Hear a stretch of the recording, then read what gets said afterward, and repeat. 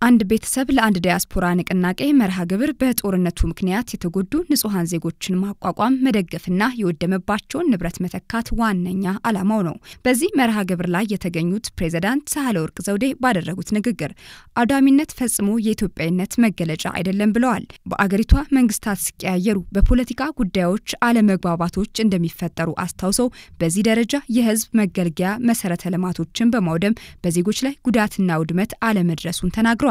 በአሸባሪው ቡድን የተፈጸመው ተግባር የሚያሳየው የቡድኑ የፖለቲካ ፍላጎት በራሱ በውል የማይታወቅ መሆኑን ነው ብለዋል። ከዚህ ባለፈ የግፍ በትሩ በንጹሐን ዜጎች ላይ ያነጣጠረ መሆኑ ችግሩን ይበልጥ አክብዶታል ነው ያሉት። የጦርነት አስከፊነት በተለየ ሁኔታ የሚንጸባረቀው ሰላማዊ በሆነው ህብረተሰብ ላይ ነው። ከሰላማዊ ህብረተሰብም ላይ ጎልቶ የሚታየው በሴቶች፣ በህፃናት፣ በወጣቶች ላይ ነው። የእነዚህ ዋና ሰለባዎች የሆኑት ሴቶች፣ ህጻናት፣ እናቶች ብሎም በአጠቃላይ ቤተሰቦች ናቸው። የጦርነት ማብቃት ደግሞ የመሳሪያ ድምፅ መቆም ብቻ አለመሆኑን እነኚህ የጦርነት ሰለባዎች በግልጽ ያሳዩናል።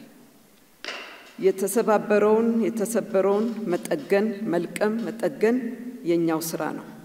የተፈናቀሉትን ወደ ቦታቸው መመለስ የእኛው ስራ ነው። ማቋቋም አለብን። ለልጆች ደግሞ ቢያንስ መኖር የሚያስችላቸውን ነገር ማሟላት፣ ቤተሰቦችን አለንላችሁ ማለት የሁሉም ኢትዮጵያውያን ኃላፊነት ነው።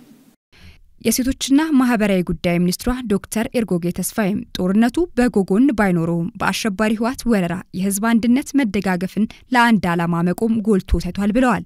የአንድ ቤተሰብ ለአንድ ዲያስፖራ መርሃ ግብር ቤታቸው የወደመባቸውን ቤተሰቦች ያለ ወላጅ የቀሩ ህጻናት፣ ጧሪ ቀባሪ ያጡ አረጋውያን፣ ጥቃት የደረሰባቸውን ሴቶች መልሶ ማቋቋምና መደገፍ ላይ እንደሚያተኩርም አብራርተዋል። በዚህ ፕሮግራም ትግበራ በፈቃደኝነት ላይ የተመሰረተ ሆኖ አንድ ዲያስፖራ ወይም አንድ ኢትዮጵያዊ ለአራት ህፃን ከዛም በላይ እደግፋለሁ የሚል ከሆነ እንደዚሁም ለአንድ ቤተሰብ የስፖንሰርሽፕ ድጋፍ ያደርጋል።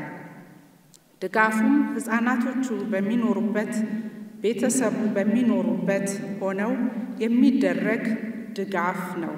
ይህም በወር በአንድ ሰው ስምንት መቶ ብር የኢትዮጵያ ብር መነሻ ሆኖ ድጋፍ አድራጊው እንደ አቅሙና ፍላጎቱ ከዚህ የበለጠ ድጋፍ የሚያደርግበትና የገንዘብ ክፍያው አማራጮች ድጋፍ አድራጊው በሚመርጥበት የጊዜ ሰሌዳ የሚከናወን ይሆናል።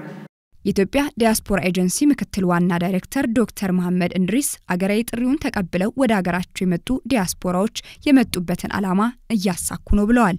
በተለይም የተጎዱ አካባቢዎችና ዜጎችን በመጎብኘትና በመደገፍ እንዲሁም ለድጋፍ በተዘጋጁ የተለያዩ አማራጮች መሳተፋቸውን ገልጸዋል። ባለፉት ስድስት ወራት ዲያስፖራው ከአንድ ነጥብ ሁለት ስምንት ቢሊዮን ብር በላይ ድጋፍ ማድረጉንም አስታውቀዋል። ዛሬ የጀመራችሁት መርሃ ግብር የመጀመሪያ ነው ብዬ ነው የምወስደው በአይነቱ። እዚህ ያልተገኙ ወንድምና እህቶቻችሁ በዚህ ፕሮግራም ተነሳስተው ብዙ ስራ ይሰራሉ ብዬ እርግጠኛ እሆናለሁኝ።